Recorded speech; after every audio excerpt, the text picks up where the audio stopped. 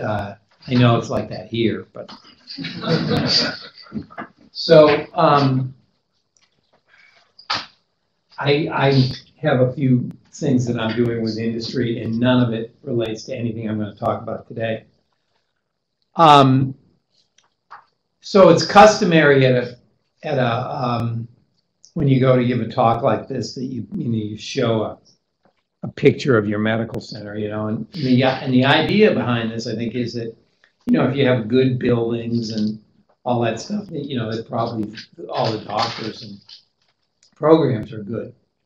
And um, and so here's the obligate slide like that, and this is our hospital here. Um, um, basically, yeah, this is the main part of the hospital, Children's Hospital, and all the rest of this stuff.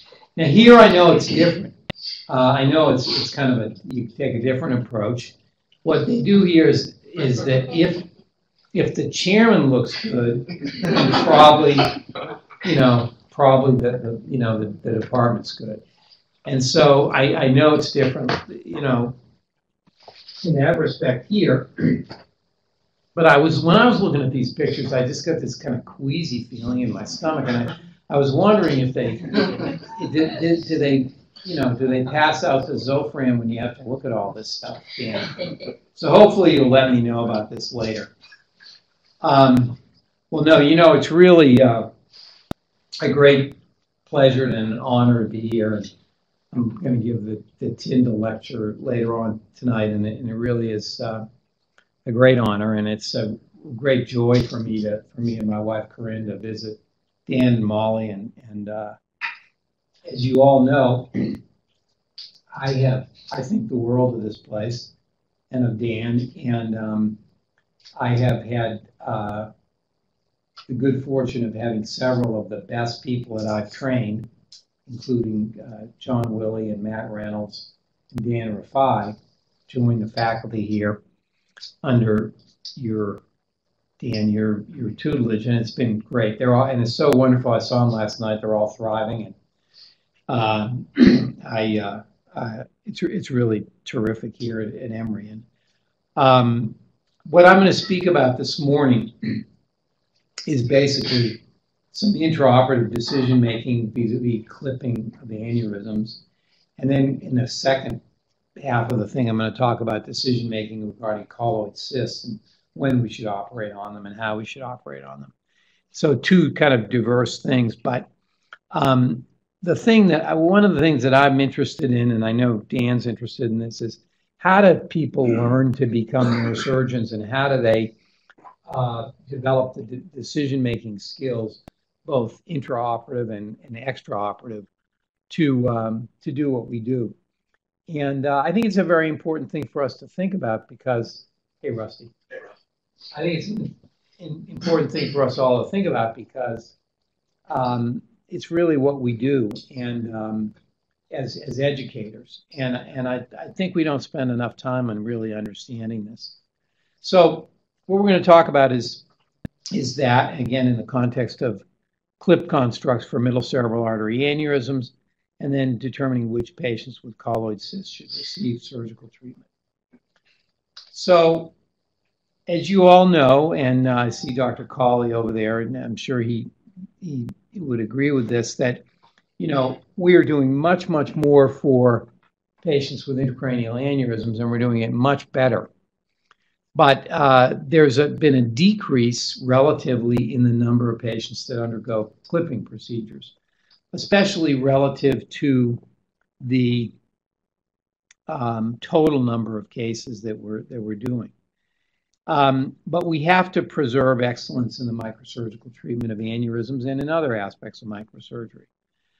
Um, and so, when I was thinking about this with with one of my uh, residents um, who's now an attending, Chad Washington, we were thinking about whether there's a role for pattern recognition in determining the principles of aneurysm shape analysis and its effect on clip selection strategy. Now, the reason I think this is important is that in the past, guys like like these people have developed huge cumulative experience in in in doing aneurysm surgery. And uh, all these guys are giants except for Dan, who's about my height. And um, but no, literally, they all, they all are. But you know, the problem is accruing this degree of cumulative experience takes thousands of aneurysms and tens of thousands of hours. So, um, so how can we? Is there a way we can maybe shortcut that and and kind of use the experiences that other people have had to inculcate approaches vis-a-vis um, pattern recognition? And so the, what we're going to talk about here is the fact that I think pattern recognition and shape analysis is important, and that a relatively small number of patterns explain the variability, especially at the MCA site in terms of, of aneurysm shape, but also probably at most of the other sites too. And that the shape pattern of the aneurysm determines the optimal clip solution. Um, so pattern recognition, you can think about it in different ways. Obviously, in the, in the context of this, a visual cue is presented. The visual cue then triggers, triggers an association based on the person's cumulative experience, and then that person formulates the concept of a solution to the problem. So, this is uh, something that was learned in Afghanistan. Um, the people over there quickly learned when they saw something like this, it looks like an innocent pile of trash, that it, you know, it may not be. And so uh, uh, here's this little tire here by the side of the road, and these soldiers are, are trying to deal with this.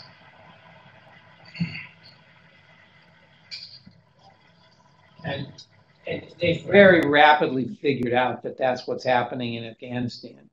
And based on that pattern recognition, um, they were able to significantly mitigate the IED threat uh, um, there. And um, so we, in the context of this, we conducted an analysis of a randomly selected group of our middle cerebral artery aneurysms, um, about 60 of them. And what we did is we first visually sorted the aneurysms and identified clusters of shape patterns and then identified four common shape patterns which we think accurately describe the, the uh, shape of most of these aneurysms in the majority of, of the aneurysms at the middle cerebral site. So here were the 60 aneurysms, and we looked at them and then said, well, this one's like this one, and this one's not like this one, and etc.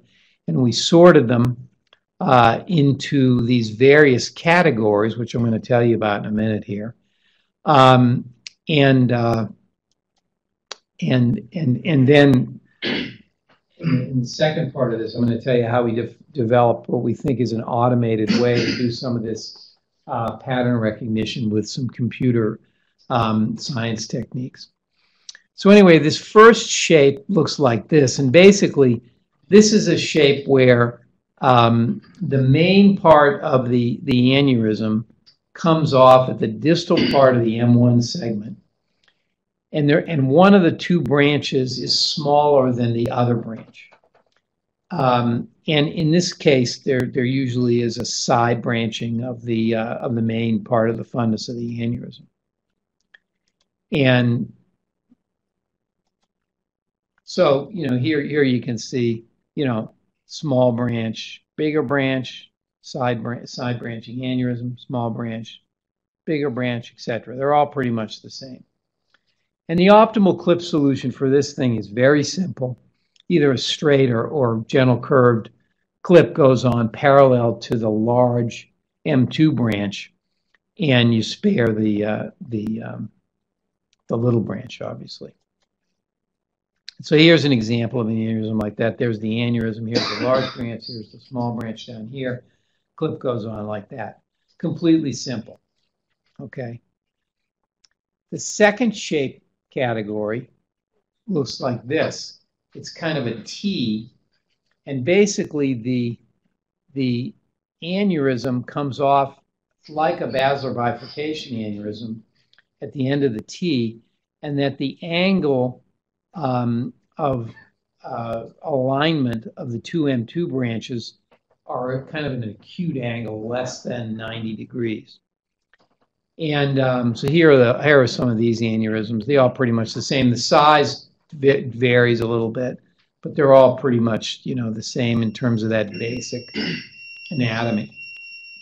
So the optimal clip solution for this kind of aneurysm is um, usually a right angle or a var- variable angle clip that goes on parallel to the conduit between the two uh, M2 divisions.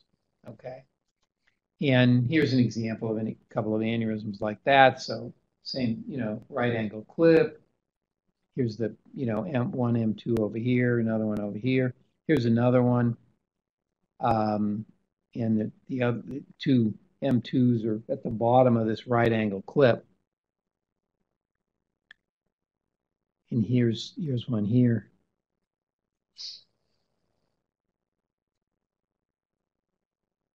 And preserving that conduit between the two divisions here. The third shape cluster that we identified looked like this. and the characteristics of these aneurysms was, again, the thing comes off as a, at a T with an acute angle between the two branches. But the long axis of the aneurysm occurred perpendicular to the axis between the two M2 divisions. And this, the recognition of this shape is important because the clip solution for this is a little bit different. Um, a shank clip where the bayoneted portion of the clip goes over one part of the aneurysm and the tips of the clip occlude the rest of it um, is often a very good strategy. And this approach was uh, uh, initially described by a good friend of Dan and mine, uh, Shiga Kobayashi, um, in the 90s, uh, and, and he, he called that a shank clipping. So here's a here's an aneurysm that looks like this, a type 3 aneurysm. The shank or the bayoneted portion of the clip gets that part. The tips get this part. And it can be a good way. Here's another one. A couple of different lobules of this aneurysm. The shank gets gets this part, the tips get that part. And um, and and this is a nice way to take care of all of the aneurysm here. Um, with with one clip construct. and um, kind of an extreme form of this is one of these aneurysms where the two lobes are coming off um, very much uh, uh, at angles to an, another one. And the way you, you take care of it is by using a straight and a fenestrated clip um, placed at a real steep angle, like a steeple roof, um, to uh, clip the aneurysm uh, like this. So that's kind of a, an extreme version of that. Now, why does this matter? Well, I mean, if you don't get the right clip on the on the right shape of the aneurysm, then you have an incompatibility between the, the clip solution and the shape. So here's this one, this curve clip leaves a lot of the of the bottom of, of this uh, Uh, aneurysm, and, and you know it's not the right solution. Similarly, if on this type 3 aneurysm, the a right angle clip is placed and the jaws are forced down on the on the branch, then you're going to occlude the branch. So you know, pretty simple, but but there is a you know the, the clip solution obviously has to fit the shape of the aneurysm. Now, a somewhat more complicated shape category is this type 4 aneurysm here, where here you get have a, an aneurysm that arises at the end of a T but the angle that of the takeoff of the M2 branches relative to the M1 is at a, a, a much more obtuse angle, greater than, much greater than 90 degrees. So here's some aneurysms that look like this. They're all pretty in di little different shape, but but you know basically it looks looks like this. These aneurysms need to be treated, in my experience, with temporary clips almost always. And then you need to uh, decompress the fundus of this large aneurysm or relatively large aneurysm and place a right angle or angled clip um, parallel to that um, connection between the two divisions so that you preserve it. And the clip needs to be high enough on the fundus so that you don't crimp the uh, branches. So here's an aneurysm, a couple of aneurysms like that. Here are these branches over here in the Sylvian fissure. Temporary clips on, uh, aspirate the fundus, place the um, angled clip like that. Little boot, little tandem clip because it's got some atheroma in it. And um, here's another one similar. These two, all the branches coming down here, temporary clips all lined up next to each other in the Sylvian fissure right angle clip down here, leaving enough of this thick atheromatous base to make sure that you don't crimp the thing. So, and a critical thing here is when you put that clip on there, if the if the thickness of the wall is too much, it's very, very easy to have the branch occluded. And you got to make sure that you don't put the clip down too low on the fundus like this, especially with a thick walled aneurysm.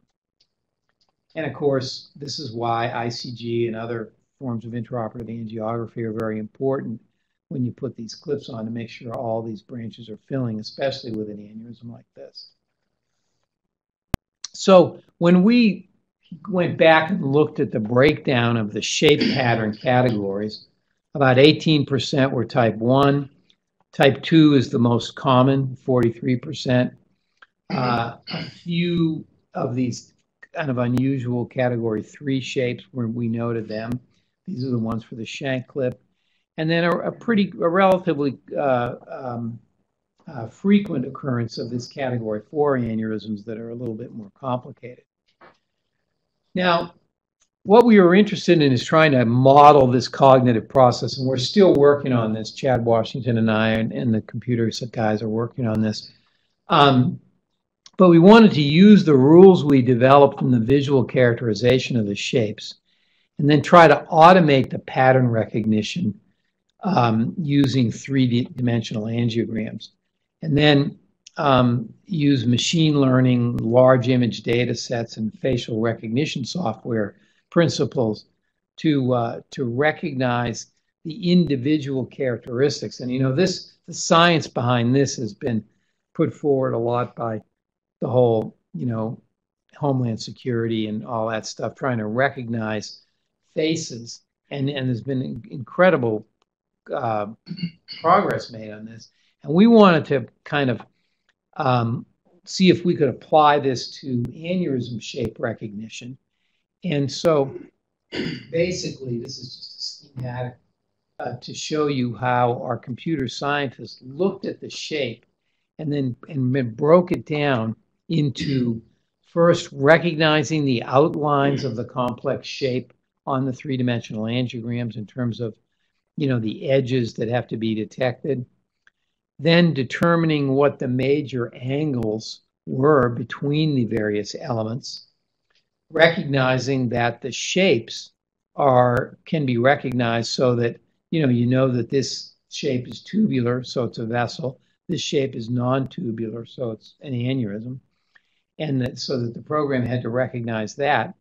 And then these various angles that I, I mentioned are then measured by the program, including these angles about the planes of the major projections of the various parts of the aneurysm.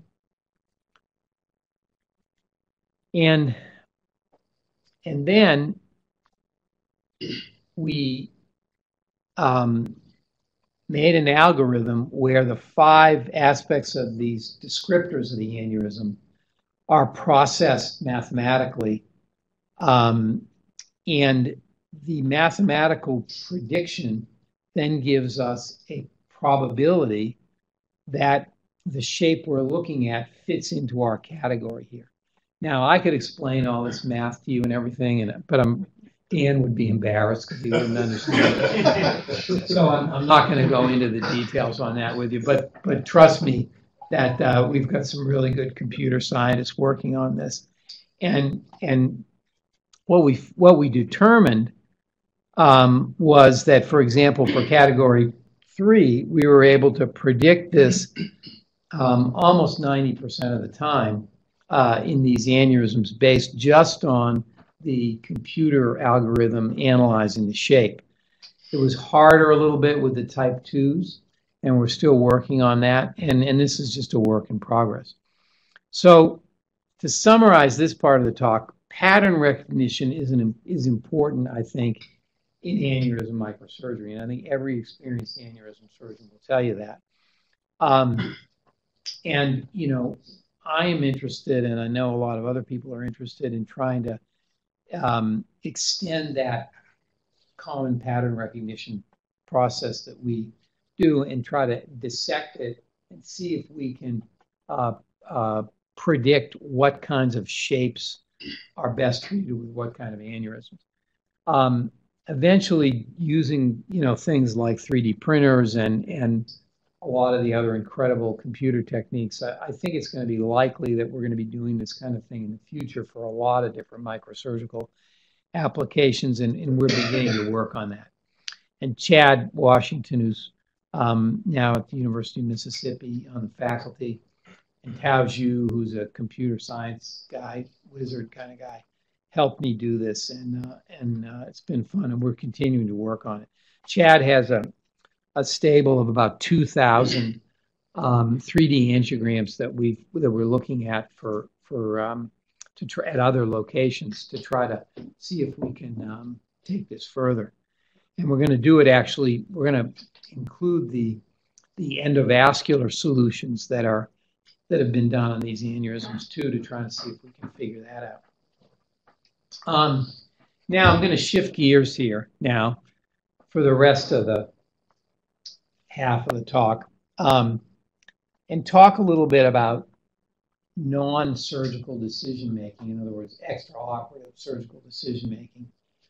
Um, and uh, one of my residents, um, Tom Beaumont, did did most of this work uh, with me. Um, and we and we looked at the natural history of colloid cysts of the third ventricle in an effort to try to determine which of the many patients that we see with colloid cysts, many that are identified incidentally, should we treat?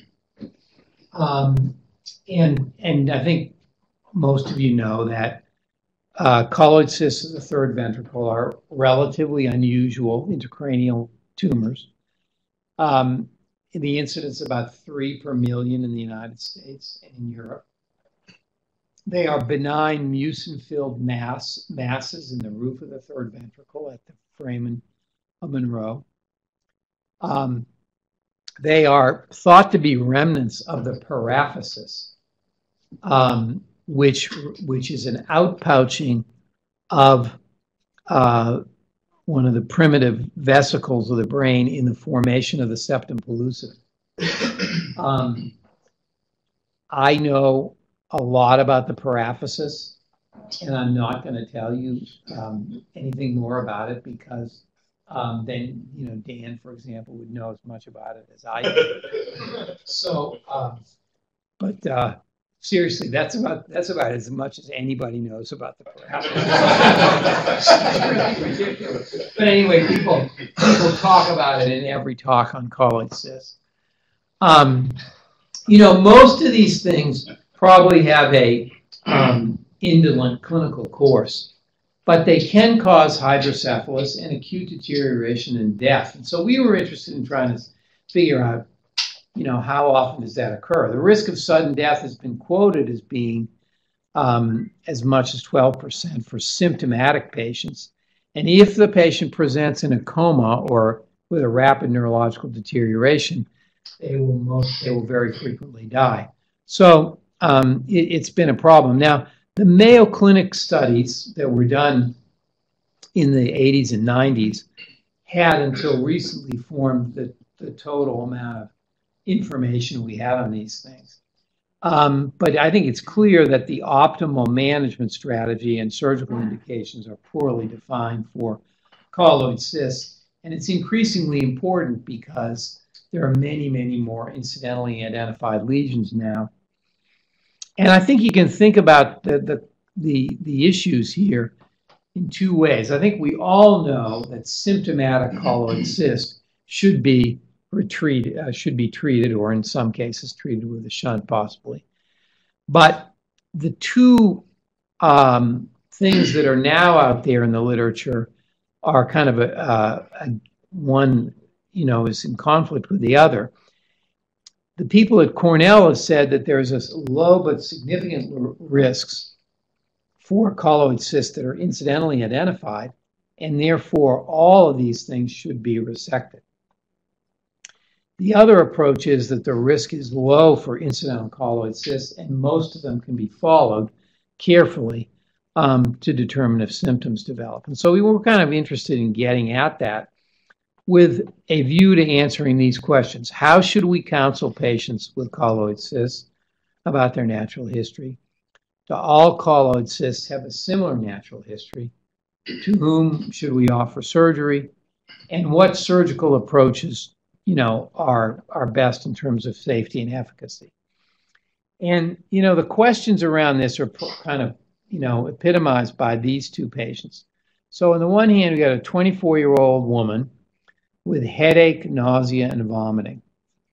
And uh, she has a seven millimeter cyst uh, in this location in, in the in, in the ventricle, and we'll talk about that in a minute, versus a 71 year old woman who's found to have this seven millimeter cyst incidentally. So what do we do with those two patients? Do, they, do we treat them the same? we looked at 163 of, of uh, uh, the patients that we had treated at WashU um, in the past um, approximately 20 years.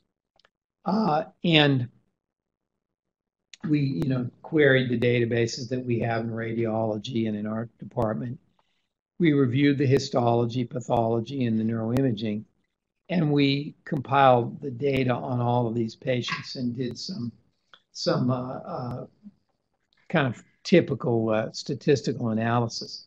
So there are 174 cases that we identified. 11 were excluded because um, we had either questionable imaging or the path was not convincing. Um, of these 163, 40% were symptomatic and 60% were incidental lesions. Now, the problem with everything about colloid, trying to study colloid cysts, is that it's a rare, a relatively unusual condition.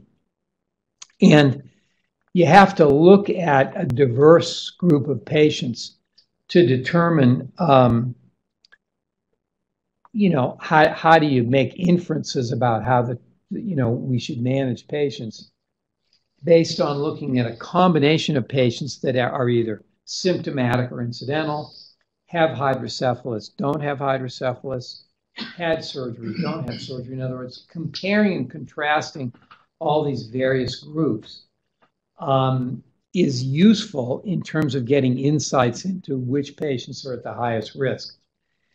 Now, you'll notice in this part of the talk that sometimes this thing has a mind, this, this, this talk has a mind of its own, and it, it advances to the next set of, you know, prompts, you know, and this is where my, my uh, resident Tom Beaumont, who put a lot of this together in terms of the automation, kind of gets carried away with himself. And you'll see. So if this thing, if this talk sort of like goes berserk or something, you'll understand, you know, why that's happening.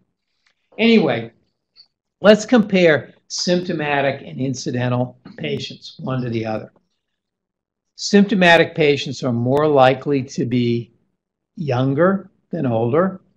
Um, they're more like they they're more likely to have larger cysts, and um, the the cyst cutoff um, of around seven millimeters is important here, and we'll come back to that. We also looked at cyst volume, the Evans ratio, which you know for the medical students here, if, if the Evans ratio is is greater than three, it means that the measurement of the, the ventricular uh, size at the level of the foramen of Monro uh, is relatively large compared to the um, um, intercalvarial distance at that level. So if it's 0.3 or more, it's it's hydrocephalus. Um, so it's just an indicator of hydrocephalus.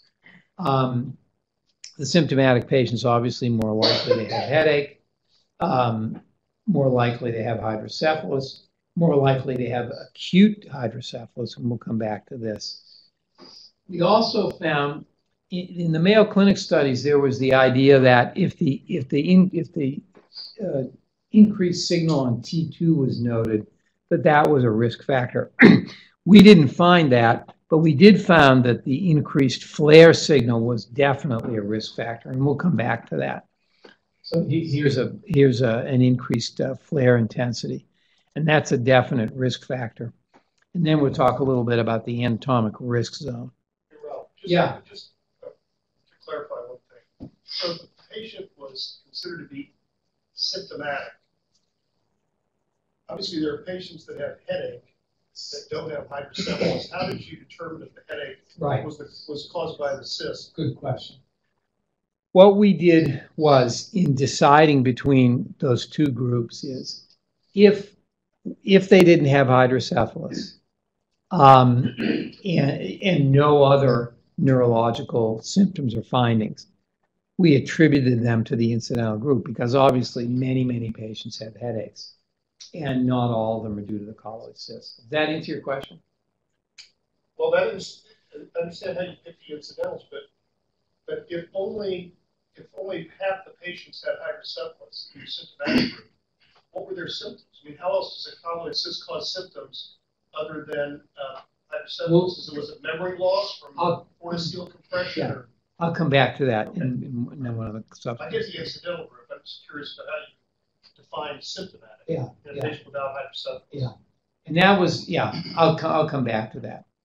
Um, the, the, so the, again, to emphasize factors for symptom, that, that separated the symptomatic from the incidental.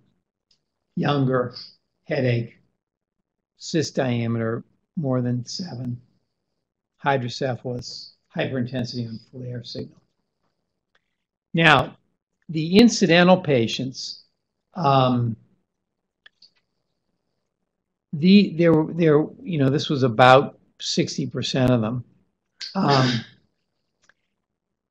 8% of them progressed during the period of time that we observed them. Uh, one patient was was noted to have died and was lost to follow-up and we we interrogated one of these death uh, um, you know uh, uh, databases um, and, and we identified this patient in the database, lost a follow-up, died. So we don't know what happened to that patient.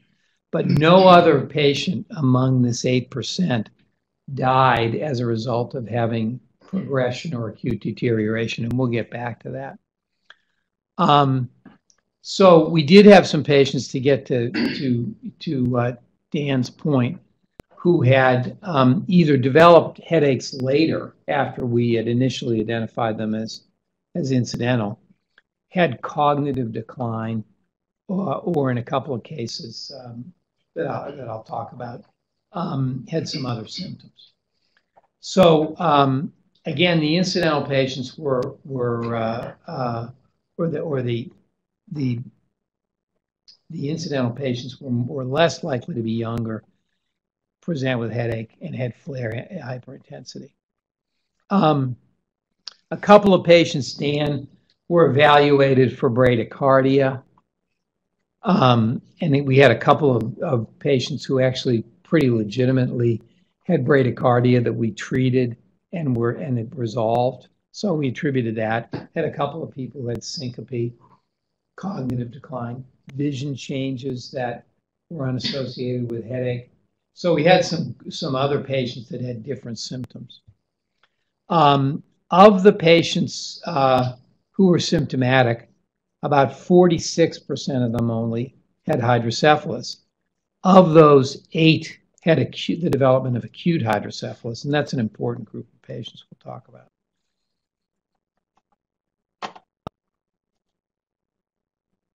Hmm.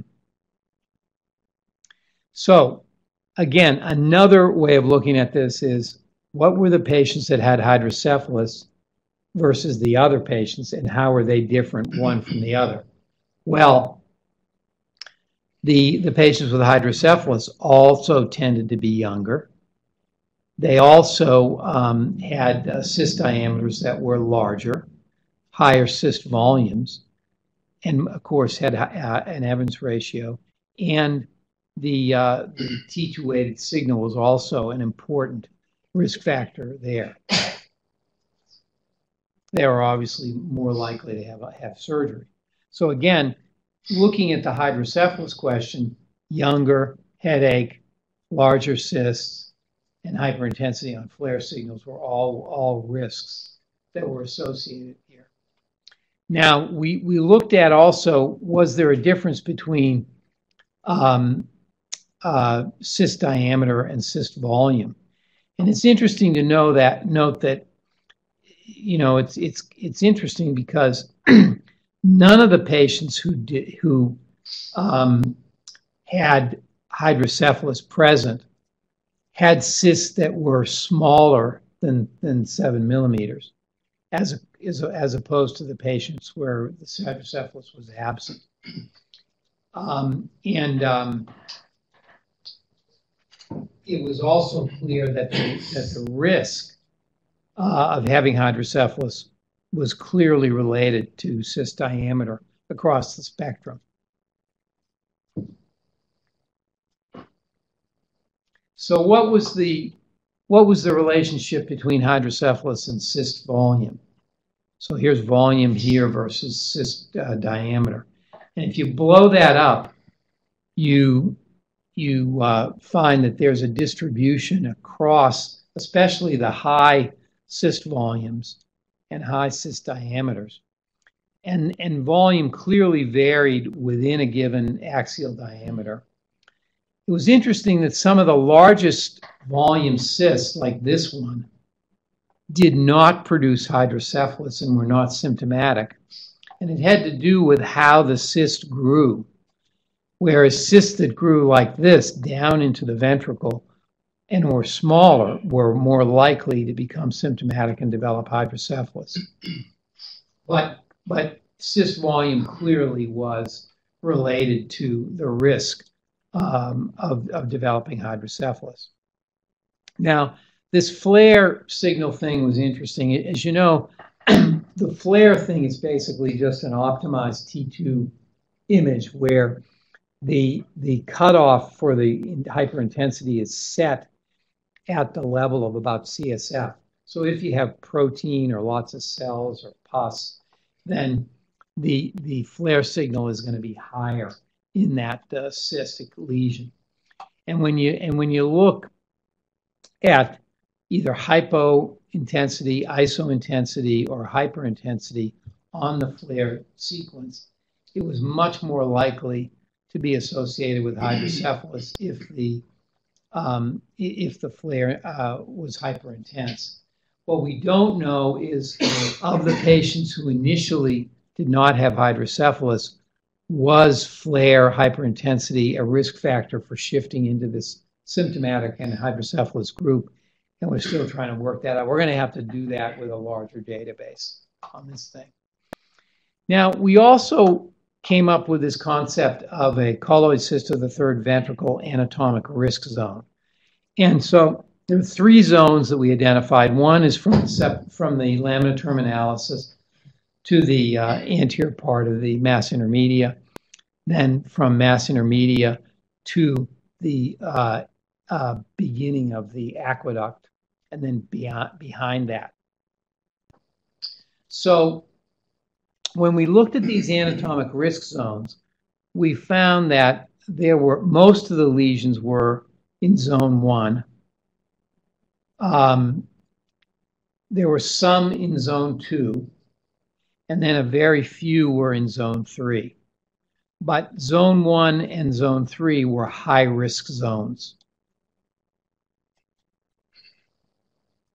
So here's an, an unusual patient that we saw who presented with um, rapid deterioration over about 12 hours and came in with hydrocephalus. And we found that the, the cyst was here at the entrance of the aqueduct here. Kind of an unusual location. And you know, you, you wonder, people like on those TV programs about what is it? Um, you know, about where they have all those handsome doctors that all look like on TV.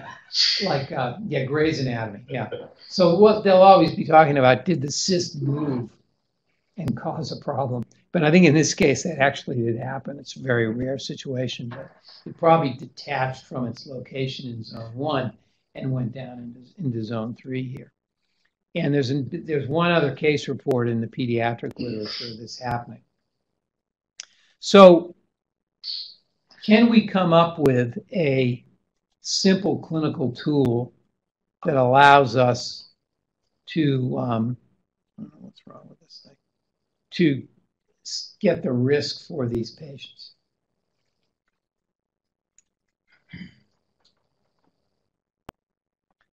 So it says, on here, it says, Microsoft PowerPoint has stopped working. And I can tell that by, by this situation, so I don't know what the hell to do here. Um, That's Chris Holland. um, I don't know, just, I don't know, I've never seen that.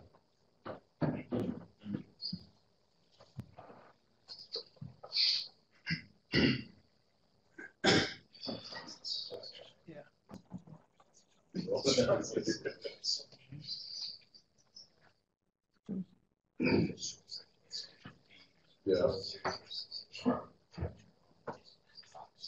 Okay.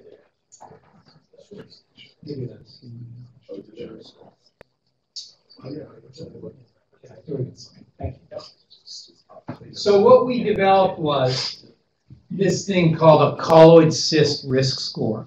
Okay, so this is a pretty simple thing where we look at age, presence of headache, diameter more than seven millimeters, FLAIR, hyperintensity, yes or no, and the risk zone. And we give them either a zero or a one for a, for a score that ranges between the total zero and five. So here's the here's the uh, FLAIR hyperintensity. Here's the risk zone. Um, and and um, when we looked at the relationship between the score and whether or not the patients were symptomatic, there was a clear cut um, relationship. Similarly, no patient with scores of one or two developed hydrocephalus three was uh, intermediate, and then four and five had a higher risk of uh, developing hydrocephalus. And when you looked at the receiver operator curves for this in terms of a, a test that would be effective for discriminating between um, a, a symptomatic patient and an asymptomatic patient, or a patient who had hydrocephalus, the area under the curve is uh, approaches 90%, which is which is pretty good. Um, and um, so we think that these, you know, probably are going to be effective means of discriminating between the two. So the range of scores between zero to five, less than two is low risk, three intermediate, four to five high risk, and surgery is probably indicated. So going back to these cases that we talked about initially, this 24 year old woman with a seven millimeter cyst has versus this 71 year old lady with a 7 millimeter cyst. Hers is in zone 2. There's FLAIR hyper intensity in zone 1 for her. So her colloid cyst um, uh, severity score or risk score is 5, whereas this lady's is 1. And this, you know, is some, a patient that should, probably should be treated. Indeed, this patient subsequently, two years later, presented with hydrocephalus and uh, and transependymal absorption here, and uh, she ended up undergoing uh, surgery. So, based on the natural history, I think we can conclude that both enlargement and symptomatic progression of colloid cysts can occur. It's about 8% for regression. Death due to progression is rare, but it can occur. Nearly a half of the symptomatic patients presented with obstructive hydrocephalus. And we think that this colloid cyst risk score is potentially a simple and effective clinical tool. Um, and that surgical intervention should, intervention should be considered for patients with scores greater than four. So, getting back to these questions that we posed down to the bottom here, what surgical approach optimizes efficacy and safety and resource utilization? Now, since um, the time of Dandy and Cushing, approaches to colloid cysts uh, were, were made usually through um, the ventricle or an interhemispheric approach. And um, here is, is, a nice um, depiction from Rhoton indicating the, the interhemispheric uh, approach um, then through the ventricle to the foramen Monro. And here's the cyst being aspirated and, and mobilized and resected. Here's the fornix, here's the anterior part of the thalamus here. And this can be an effective, obviously, is a very effective way of treating these lesions. Here's the opening into the ventricle here. And we just gradually um, whittle this thing down and, and uh, remove it. The endoscopic approach has also been advocated and, and in a number of uh, uh, studies that have been presented recently from the United States and Europe, good results have been reported with a completely endoscopic approach. Most recently, the the um, the uh, report from Cornell um, indicates a, a very uh, uh, favorable set of outcomes here with uh, low risk of complications. and you know, in the Cornell paper, there's an, an interesting discussion of the natural history presented from a population based standard uh, in the Dutch study and the Finnish study, where they have a, a lot of control over what happens to their patients over years. And cumulatively, the risk that was projected in both of these studies for um, sudden death or neurological deterioration was pretty high, similar to an arteriovenous malformation. So this led them to recommend that based on the low risk of complications for endoscopic resection and the cumulative lifetime risk between 10 and 40 percent, that they recommended endoscopic resection of all incidentally discovered colloid cysts. So, so what's the best way to do this? I mean, we, we've recently developed some experience with the endoscopic approach, and it's, it's a very nice way to do it. Um, the pediatric surgeons are, you know, kind of leaders on using these techniques um, to resect interventricular lesions. And I and I've really become a um, a believer in in this technique. Here we are resecting the cyst contents with contents with the, this NICO. Um, and it's it's a it's a very nice way to do it. Obviously, stereotactic guidance is used to get into the appropriate orientation of the ventricle. And there's a nice resection. Here's another one. Um, the uh, image guidance is important. We make more of a lateral entry to the ventricle um, and uh, use this Bugbee device to coagulate both the choroid plexus and the wall of the uh, lesion. And you know, if it starts to bleed, you know, you just irrigate it and usually it stops pretty good. We haven't had to convert any of these to um, open procedures. Here we are just uh, cutting into the capsule and then evacuating it with this NICO myriad.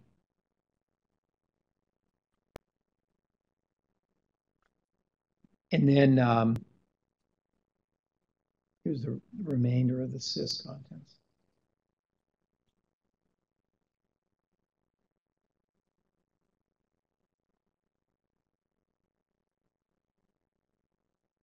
And then we usually just do a septostomy at the end so that we can, if there's a problem with ventricular obstruction, it can be handled uh, um, more easily if the ventricles communicate. So um, we found in, in our relatively small group of patients that we've treated with this that the risks are um, higher with the open approach. And we're pretty impressed that the endoscopic approach is pretty safe. And the um, uh, and this is actually is, is interesting because it mirrors the approach the, the um, um, outcomes at the Barrow, where they reported higher risk with the open approach there too. The costs are much less for the endoscopic approach compared to the open approach. And, uh, and you know, so we, we think it's a promising uh, development. And I, I don't know, it'd be interesting to see how you guys manage these lesions here in terms of endoscopic versus open. But in conclusion, I think um, to just go back, we, we made the observations about the, uh, the natural history. We think that surgical intervention be, should be considered for everybody that has a colloid cyst risk score of greater than four. And we think that endoscopic resection is going to prove to give um, more safety, shorter hospital stays, and, and uh, improved uh, outcomes. So with that, I'll stop, and we're just about on time. I'd be interested in your approach to colloid cyst here, Dan. And um, I really appreciate the honor of being invited to give the lecture this year, and thanks very much for having me.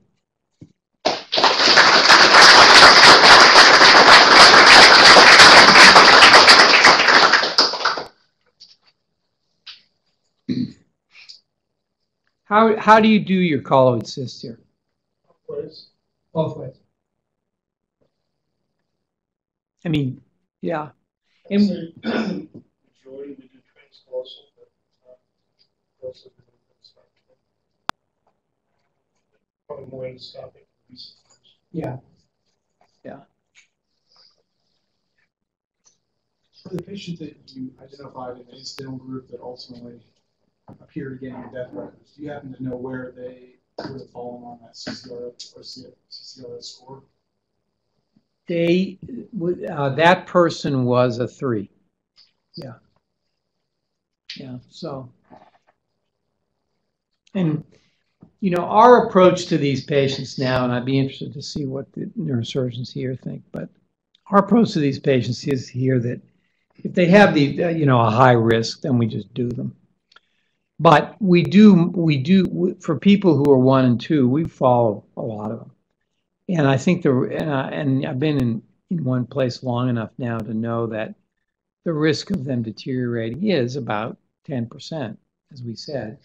And, um, and, and most patients are going to be do pretty well with a with a conservative approach. So I kind of I disagree with the approach that the Cornell guys have put out there that if you find one, they have to be resected. I, I don't think that's right. Yeah, John.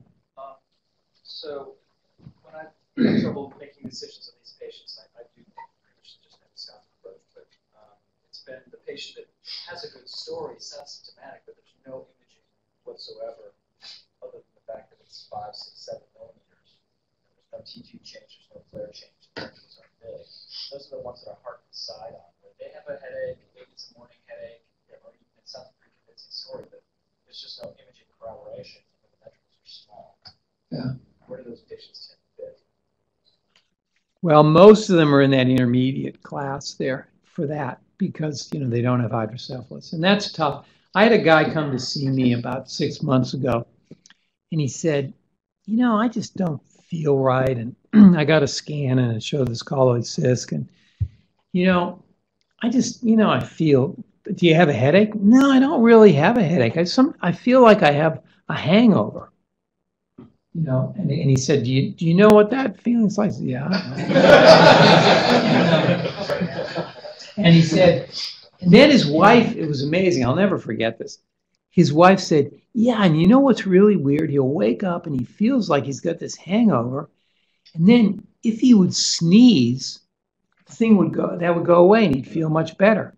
I said, geez, that doesn't sound good. So, so this guy, even though he had a risk score of three, he did have a high signal on the, on the FLAIR, but it was like eight millimeters or something. And we did him and he, the symptoms totally went away. So, I mean, I think you got to really, you got to really agonize about that kind of a history. If there's any positional aspect of it. Yeah, It- it possibly related symptom that I've come across in one patients, I don't know if just is apparent sleep apnea. Have you seen that? Because it also relates to what you just said, because most people who actually have sleep apnea wake up feeling like they have a hangover. Yeah. But I have, that's an interesting, I, we haven't looked at that. We probably, we probably should. The problem with that is that that's such a common condition that it's, it's difficult to, yeah, right. I mean, it's, that, that's why this is tough. And you know, every year, I mean, and I, we, we, we, we submitted this to Journal of Neurosurgery and it looks like it probably will get accepted. I have a little trepidation about it because once you write a paper like this, then you, then immediately the plaintiff's attorneys come to you because, you know, they want to know, you know, well, is this patient that deteriorated? In fact, I've already seen one case of a patient that just, you know, came in with a colloid cyst to the, um, to, to her primary care doctor in rural Illinois. And they're trying to, and they, and then she deteriorated in about 10 hours. And they're trying to tag this guy because, uh, this once in a lifetime case that he's seen of a colloid cyst uh, died, and um, it's it's it's a scary condition. But I think most of the patients do okay. Yeah, So it sounds like you favor a more conservative approach, obviously. in general, Yeah. but it's, unless it's a unless it looks like a bad one, and then we Sure. do do it. Sure. But in general, most players may be that conservative patient. But then I thought I saw somewhere that you kind of thought there was about a three percent death rate. So you could counsel them and say, three percent death rate. If you have told me that with an asymptomatic lesion, I'm going to have surgery, not by We year." Right. We, and, but, but no pay, that's a very good point. And I should have made this. No patient, except for that patient that we had lost to follow-up, um, died. In, in other words, that there were some patients that deteriorated about eight percent, but we managed them all within about, you know, twelve hours. And it turned out okay. In other words, um, they can deteriorate, but if they n- none of them deteriorated suddenly and died suddenly, you know. So there's two ways to look at that. You need you could say, well, you know, if there's a 10% chance I might get worse, then let's take it out. Other people would look at that same situation and say, hey, 90% chance I'm going to be okay. Maybe if it gets worse, I'll come to the hospital. I mean, that's that's so it's not settled by this, but it, it's it's a problem. So the, the balancing act is, you know, why not take them all out? Um, and, you know, save yourself the worry of progression and perhaps missing a patient. And there could be other centers that don't get to follow their patients so closely as you. Yeah. So, so you have to look at the flip side, which is a expense, obviously. Yeah. Um, but what are the downsides of taking an approach where you just operate on everybody? So have you looked at in this case, neuropsychological impact, because that's, I think, the, the major thing. Seizures and other types of complications of treating them all. And, you know, let's put the cost factor aside for Yeah, yeah. The, the, um, you know, in the Barrow study and, and our compilation of our results, we have a couple of patients who will have had seizures related to the interhemispheric approach, I think. We had one, we've had a couple of problems. We've had patients who had problems with veins in the interhemispheric approach, cortical veins. Um, you know, uh, I, I we, we have not had as many complications with the endoscopic group in terms of seizures or any other ma- major thing. So I, I we, we haven't we I can't answer the question yet because we don't have a big enough series yet. But we're but we're interested in doing. I think this is something that really cries out for a multi institutional study um, to really answer the questions that you just posed and the others have posed about how to manage these things. So. I think the question is, what, what you, what does the FLAIR signal mean? Why is it that those patients are more likely to progress? Some people have said, and we looked at this, that it indicates that hemorrhage might have occurred. And There, there are some case reports indicating that if you have a hemorrhage into one of these lesions, it can be a cause of deterioration, sudden deterioration. When we looked at that with the SWI imaging, we, we did not find that. In other words, that was not an indicator.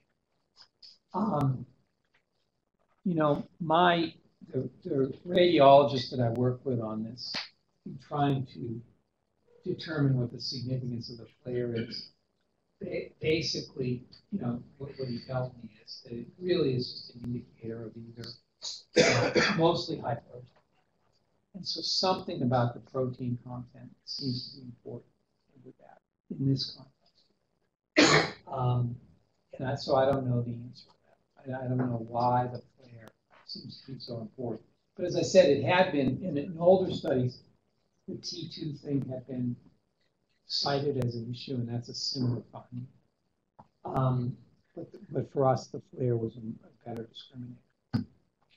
You know, it's, it's anecdotal, but there, there are several cases of patients with unruptured aneurysms that are discovered incidentally, and there's high FLAIR signal, and then within a few days, they rupture bleed. Yeah. It's a, it's an ominous, I don't know what it is, protein, inflammation, it's, it, it kind of implies something, Could be inflammation. kind of inflammation. too, that's implies that the brain's not happy. Yeah. Something is happening, and it, it is anecdotal, but I, I mean, I've seen it, and a lot of my colleagues have told me they've seen it. See a patient in the office, completely asymptomatic aneurysm, this FLAIR signal in, within a period of time, eruption Within the fundus, Dean? around. Around around. Yeah. Yeah, there's something. It's, I've really paid a lot more attention to it. Getting getting back to the aneurysm part of the talk, um, so, you know, you've identified these four groups. Have you guys thought pathogenetically uh, about the, those four groups? You know, what they might say about how aneurysms arise and have a discriminator now?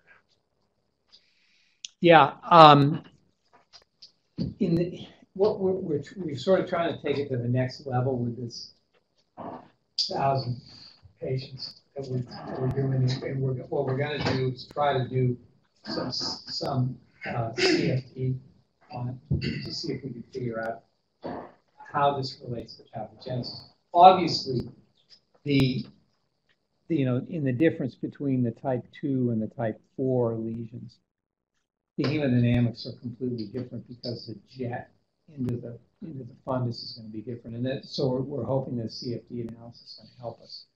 But it's a lot of data, and, and I, I can't answer the question.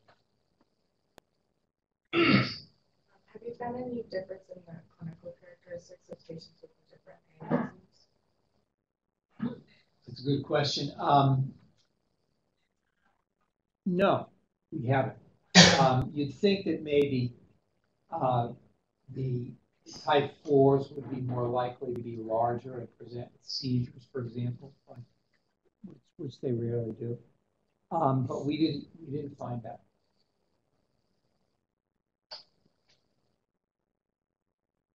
Yeah, John. Uh, one of the comments was, I actually, something I learned when I was an intern, and I actually attributed this to, of all people, Tim Buckner, who was a dental surgeon at WashU when I was an intern.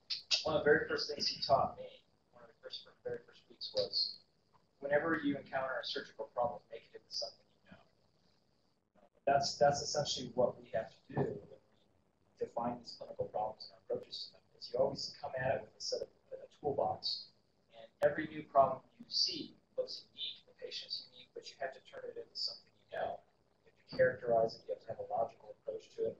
And, you know, logical approaches may vary by surgeon, may vary over time, evolve, but if you don't have a logical approach to things, you never make progress in characterizing your experience, determining what worked, what didn't work, and making it better.